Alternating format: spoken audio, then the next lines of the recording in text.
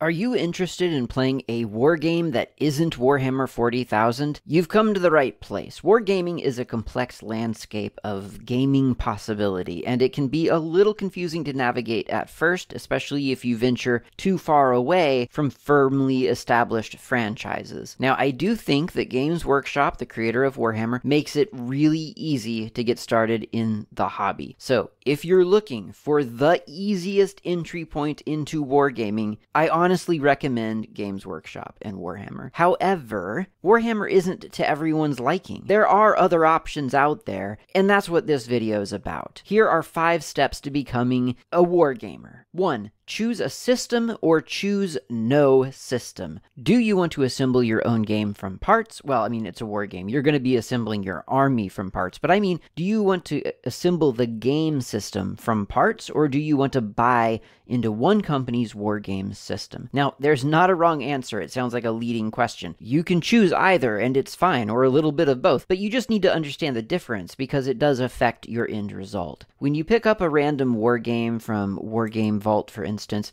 you're you're buying rules. It's a it's a book with rules in it. It's up to you to equate those rules to models you own, or else to buy models to fit neatly into those rules. The problem is well, well there is no problem. It's fine to do it this way, but the problem is that now you have to learn about the very scattered market of miniatures. There are different scales even within the same scale. For example, you could go out and buy a battle mech model that's 28 millimeters. And then you could go out and buy a miniature who's supposed to represent the pilot inside that mech. But that figure is also 28 millimeters. So now you've got a mech and the person inside of it looking like they're the same exact size. I mean, to scale, the pilot should be like, I don't know, 8 millimeters, and their mech should be 28 millimeters. But but if they're both 28 millimeter models, then the, then that doesn't that's not how it works. So it can be confusing, especially if you're buying online, because then you're unable to compare one model to another. And there's again kind of no right or wrong answer. It's just you have to be personally okay with the sizes of miniatures that you are buying. But to be okay with that, you need to understand that there is a difference between the different kinds of miniatures you you go out and purchase. Now there are advantages to this kind of disparity. Assembling your own motley collection of miniatures means you get a wide variety of styles, quality for better or for worse, and prices. If you enjoy the eclectic or you're happily unfocused, then trying to fit into one system may not make sense for you, but you have to be ready for what you're signing up for. I mean, imagine this you've got 50 miniatures spread across a six foot table, and your army is getting slaughtered, but then you notice a rule about a special ability for soldiers with plasma rifles, and you realize this would turn the game around for you. The problem is, none of your miniatures are holding rifles because you're playing with random models that you got on eBay. So you cross reference your list of which models are supposed to be what, and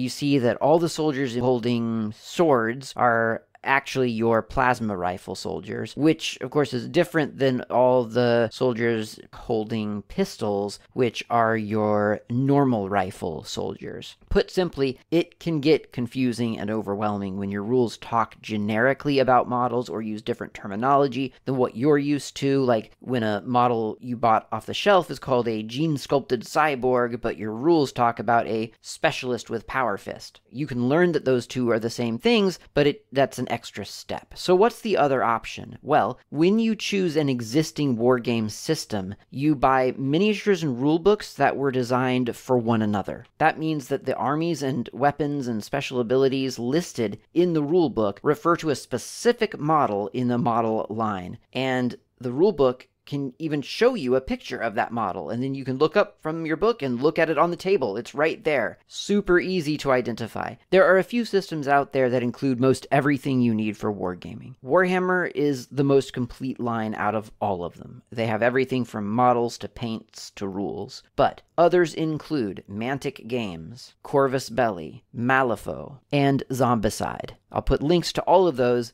down below. Step 2 Get the rules and read them. A war game is really just a way to codify how you play with your toy soldiers. Instead of having a model pretend shoot at something and then you arbitrarily deciding whether it hits or misses, a rulebook tells you when a model is allowed to pretend shoot and what factors determine its success. It's usually dice, but some games will use cards. The rules govern how your miniatures battle. Some of my favorite rulebooks are Reign in Hell, Space Station Zero, Majestic 13, my own Scuffle Whammer. If you're looking for something like Warhammer 40k that's not Warhammer 40k, that is lots and lots of troops, from varying factions, fighting on a sci fi battlefield, then check out Firefight by Mantic. Step 3 Buy miniatures. To me, this is the hardest part. The, the thought of finding miniatures that are suitable to play in the same wargame setting and on the same wargame table, for me, almost sends me into a panic because I hate shopping even for stuff I like. If you find it enjoyable to painstakingly research product lines and shop around for the best deals on items that work well together, then this part might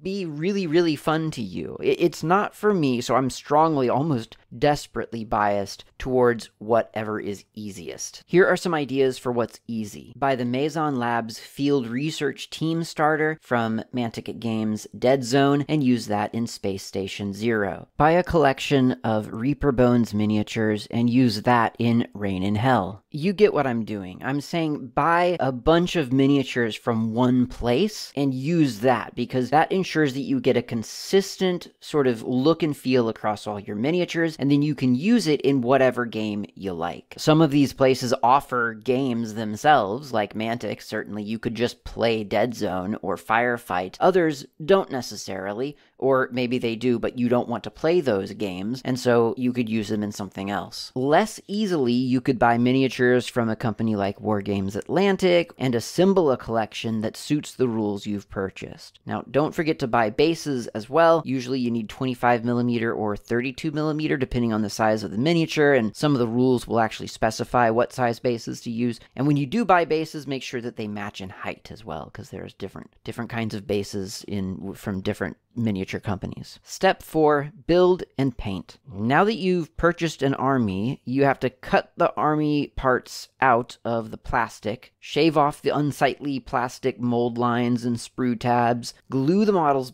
together, give them an undercoat or prime with white or gray primer spray paint, and then paint them with model paint. For that, you're going to need modeling tools like clippers and a knife and a file and paintbrushes and paint. Once again, there's the easy way and the hard way to go about all of this. The easy way is to benefit from Games Workshop's methodology. They offer lots of tutorials at citadelcolor.com slash getting dash started to help you get started in this new hobby of arts and craft soldier making. Citadel Contrast Paints and Vallejo Express Color are excellent lines of paint on two different spectrums of cost. I highly recommend both. Alternately, you can just watch painters here on YouTube like Midwinter Minis, Duncan Rhodes Academy, and learn everything you need to know from them. However, you decide to learn how to paint tiny sculptures, it'll take months to get through, because miniature wargames tend to require lots of miniatures. The good news is that it's a lot of fun. In fact, it's so fun that it could make you forget that you actually got into this because you wanted to play with the toy soldiers, not just build and paint them? Seriously, it's important to keep your eye on the goal or consciously decide you have a new goal. I mean, it doesn't matter. Here's how I manage it I paint on my game table and I paint in sprints. I decide that I'm going to stop playing games for as long as it takes me to build and paint one box of miniatures. I clear off my gaming table and I work on the models. When they're done, several weeks later, I'm luckily usually itching to get more gaming time in, so I clear the table off, set up a, a game, and play for several weeks or until I have another box of miniatures that I need to build. Find something that works for you or don't and just decide that you're not a wargamer but that you enjoy painting. That's okay too. There are, again, no wrong answers here. Step 5 Get terrain and dice and rulers. Most wargames expect terrain. Those are like ruins of buildings or walls or other obstacles. Objective markers, you can use glass gaming tokens or coins or whatever. A battle mat, uh, dice, rulers. Some of these components are more common than others, but terrain is a real challenge. Now, you can buy terrain from a company like battlekiwi.com or something like that, or build it yourself from literal junk. I stick a couple of bottle caps on the top of discarded Marmite jars and then paint them military green using dollar store craft paint. Next to a little 28 millimeter soldier, they look like big oil storage tanks or something. It's amazing what you can do with stuff you'd otherwise throw into a landfill. And again, there are a bunch of cool YouTube channels where people build terrain out of junk all the time. It's not required for playing, but you can buy a battle mat to give your table extra atmosphere. I use Battletech mats because they're paper, they're big, and they have some extra data on them, so I can use those for either quick reference, like, oh, three hexes, that's close enough to three inches, that's good enough for objective proximity, or to add special rules to the game, like if you walk over glowing green sludge on the battle mat, then you have to roll 1d3 for damage. Compared to neoprene battle mats, the Battletech ones are super cheap too. And that's it. Now you can go play the game. All in all, I think the biggest mental barrier is understanding that wargaming can be as structured as a military campaign or it can be as unstructured as guerrilla warfare. No wargame I know of offers the same experience as a board game, where you walk into a store, grab a box from the shelf, unpack it, and start playing. But that's kind of the point, or at least it's one component of the point. Wargaming is something you build. If you want something structured and easy, then buy into an existing system and follow the guidance that the system provides. If you don't mind stumbling around a little, probably buying some miniatures that don't look quite as good in real life as they did on the website and so on, then go grab the things you think you need for a game and start building your own little system. Either way, I think you're going to have a lot of fun. Hopefully this video has made it easier for you to know how to get started. Thanks for watching.